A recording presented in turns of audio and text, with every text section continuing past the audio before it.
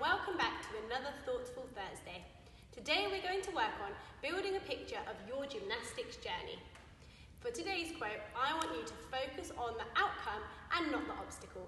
So we're going to do a little review of your journey in gymnastics so far and we're going to set some goals so you can see how far you've already come.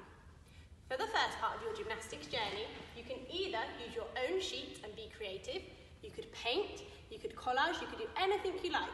Or if, like me, art is not your strong point, and you will see that in a second, then by all means use the free template that has been sent out in your gym at home pack. The first thing you want to do is draw a river and a mountain.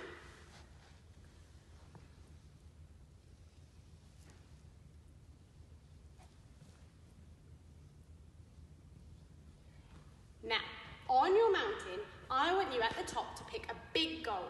This has to be the goal that sets your heart on fire. It could be anything you like, and it doesn't have to be the same as anyone else. For example, for some gymnasts, your big goal could be to do your first club competition. For another gymnast, maybe it's to reach a certain level. It doesn't matter what your goal is, but make sure it's something personal to you. You're going to put your big goal at the top of the mountain. Then, on the way up, I want you to think of a couple of smaller goals that will help you to achieve your big goal. These will go up the mountain. These are your smaller goals. Now, again, these small goals have to be something that is specific to you. For example, if my big goal was to do a cartwheel on the high beam when I get back to the gym, one of my smaller goals might be to be able to do five in a row on a small beam. And another goal could be to land five in a row on a line with no wobbles. Think of a goal that works for you. Maybe your goal is to get to your level five. So you want to set one of your goals to do an upstart, and another goal maybe to learn your round off flip tuck back. It doesn't matter if it's not the same as anyone else's because this is your personal gymnastics journey. Once you have drawn your mountain and you've thought of your big goal and your smaller goals that are going to help you to get there, I then want you to focus your attention on your river. For the river, we're going to reflect on all the achievements you've had in the sport so far. To do this, I want you to draw some stepping stones. These will go on the river. Now, your stepping stones are going to be your personal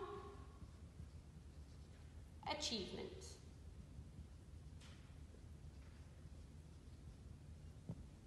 These are the things that you are proud of yourself for achieving in the sport. It doesn't have to be a competition. It could, if you're very proud of a competition result, why not put it on there?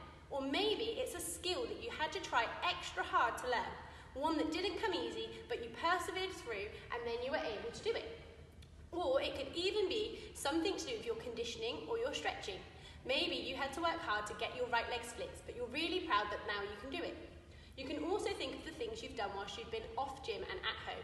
For some gymnasts, I know they've really improved their handstand holds, so you could put your handstand hold as a personal achievement.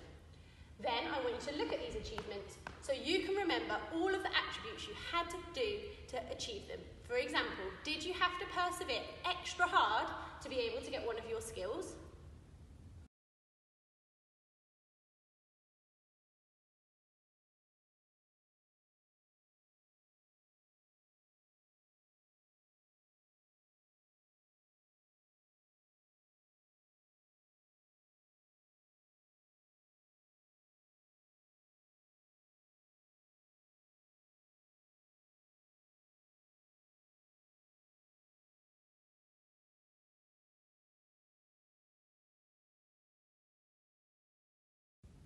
Remember, this week's task is all about focusing on how far you've already come and looking at the goals that you want to achieve. This week we are going to focus on the outcome and not the obstacle that is currently in front of us whilst we wait to get back into the gym. Have fun with this task, be as creative as you like. Remember, if like me, you're not very good at art, you can use the template that was sent out in the gym at home pack. But if you feel very creative, why not make it your own? Maybe you could paint or use cards, even do a 3D model. I will show an example of some of the other gymnastics journeys people have made following this video. Please remember, we would love to see how you get on with this task. So why not draw your own gymnastics journey, take a picture and send it in to us via our Facebook page, Corby Gymnastics Academy.